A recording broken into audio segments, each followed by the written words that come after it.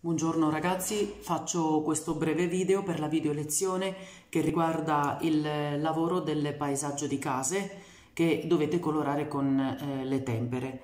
Eh, vi spiegherò eh, due procedimenti, eh, quello della tecnica piatta, ovvero senza sfumature, e poi durante eh, questa ehm, video lezione eh, vi spiego la, la sfumatura, eh, un procedimento molto, molto semplice. La tecnica piatta è obbligatoria, eh, dovete appunto applicarla tutti. La sfumatura è facoltativa, chi vuole la fa, eh, chi invece eh, desidera non farla eh, non la fa. Un accorgimento importante, quando scegliete i colori che devono riempire le varie forme del vostro disegno, ehm, scegliete dei colori che eh, si contrastano tra di loro, mai mettere due colori molto simili vicino eh, perché altrimenti non si costruisce in maniera chiara eh, l'immagine di, eh, di, tutto il, di tutto il disegno. Allora, io comincio subito a farvi vedere così dopo vi mettete eh, all'opera e iniziate a dipingere. Prendo il rosso, un appunto per il materiale, colori a tempera, due pennelli, uno più grande per riempire le forme e uno più piccolino, sottile, per fare i contorni, perché prima si fanno i contorni e poi il riempimento. Un piattino di plastica, usa e getta, un bicchiere con l'acqua, mettete magari anche una tovaglietta sotto per proteggere il tavolo e uno straccetto per pulire il, i pennelli o per assorbire un po' uh, di acqua dalla punta dei pennelli. Apriamo il colore, in questo caso prendo un rosso, la quantità circa va bene, non dovete eh, premere tanto colore sul piatto perché altrimenti è uno spreco inutile, se il colore finisce andate ad aggiungere. Come vi ho spiegato negli anni precedenti, bagnate il, il pennello e più volte vicino al colore mettete delle goccine di acqua, dopodiché col pennello più grandino diluite. Ovviamente la, la tempera deve rimanere cremosa, non deve essere molto liquida, quindi si deve utilizzare la giusta quantità di acqua.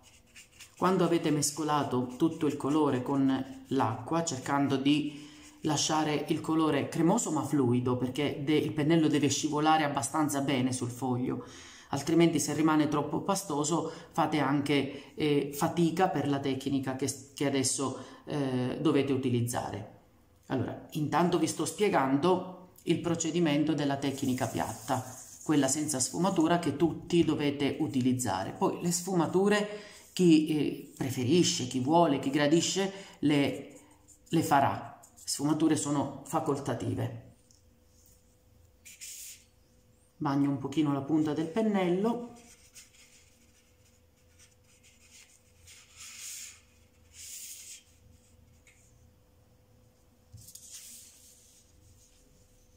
in maniera molto precisa, se vi ricordate è un lavoro che abbiamo già fatto anche in prima media, in seconda media, dovete fare il contorno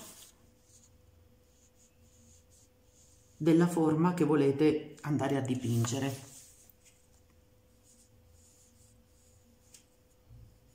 Quando il pennello non scrive più, andate a prendere il colore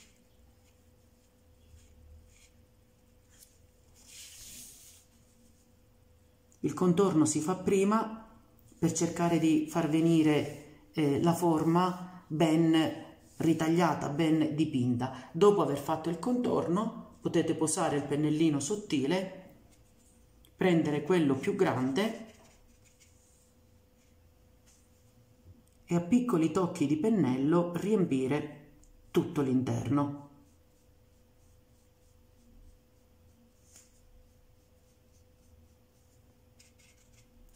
Fate asciugare bene la forma e poi dopo vicino ne potete dipingere un'altra. Quindi questo è l'obiettivo da raggiungere, obbligatorio per tutti riempimento delle forme con la pittura a tempera con la tecnica piatta, che vuol dire senza sfumature. Adesso vi faccio vedere anche le sfumature che non sono obbligatorie. chi vuole può provare a sperimentarne qualcuna sulle varie parti, sulle varie forme da, eh, da colorare. È molto semplice anche questa, però le sfumature non sono obbligatorie. E quello che voi dovete fare come ob obiettivo da raggiungere è la tecnica piatta, prima contorno col pennello sottile, poi riempimento all'interno con un pennellino più grande. Allora, adesso prendo il marrone per colorare la parete di questo Quantità, palazzo. come vi ho detto, deve essere poca.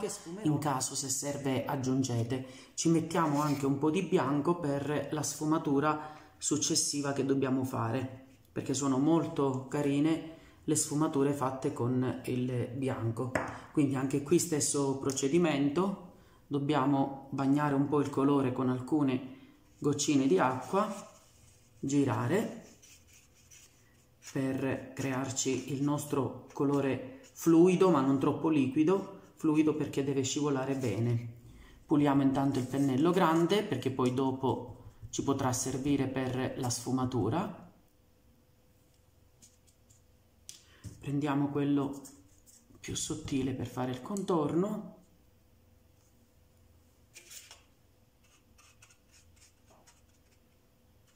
E iniziamo come prima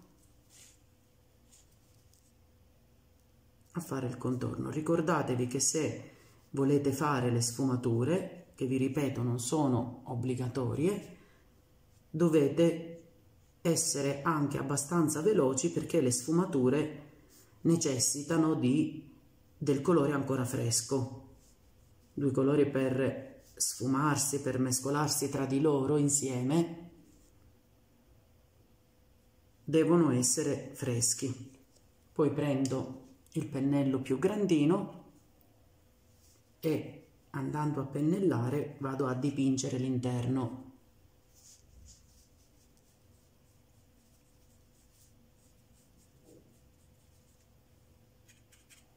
ogni volta che il pennello non scrive più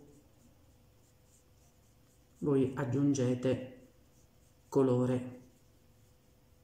Andate ad indingere il pennello nel, nel colore. Quindi puliamo il pennello più grande e adesso vi faccio vedere come si sfuma questo colore marrone con il bianco per creare l'effetto luce ombra. Quindi il pennello deve essere pulito completamente asciutto utilizzate la carta per assorbire l'acqua e si prende il bianco. In questo caso lo girate senza acqua perché il bianco deve essere molto molto denso. Ne sistemate una macchia qui. Prendetene ancora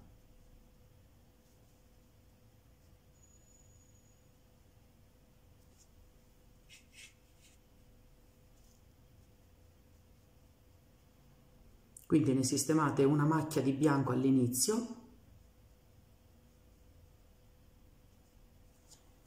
Vi faccio vedere da vicino e poi pulendo il pennello asciugandolo completamente e picchiettando picchiettando sul bianco lo spostate in avanti.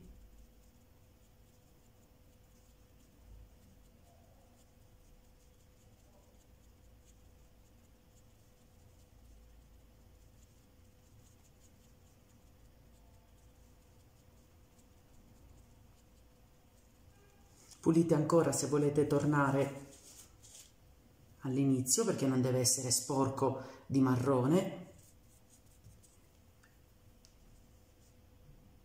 andate a picchiettare all'inizio per perfezionare. Molto semplice quindi una macchia di bianco che poi va eh, portata verso tutta l'altra parte delle, della forma in questo caso da più chiaro a più scuro andando a picchiettare come eh, vi ho fatto vedere prima. E così si crea un po' di sfumatura quindi un gioco di luce quindi e ombra. attraverso la picchiettatura col pennello che vi ho fatto vedere prima si viene a creare questa bella sfumatura creando un gioco di luce e di ombra. La sfumatura, come vi ho detto, non è obbligatoria, l'obiettivo è la tecnica eh, della pittura a tempera, eh, tecnica piatta, fare prima il contorno e poi il riempimento. E I contorni sono molto importanti per ritagliare bene nella colorazione le varie forme e quindi evitare le sbavature. Buon lavoro!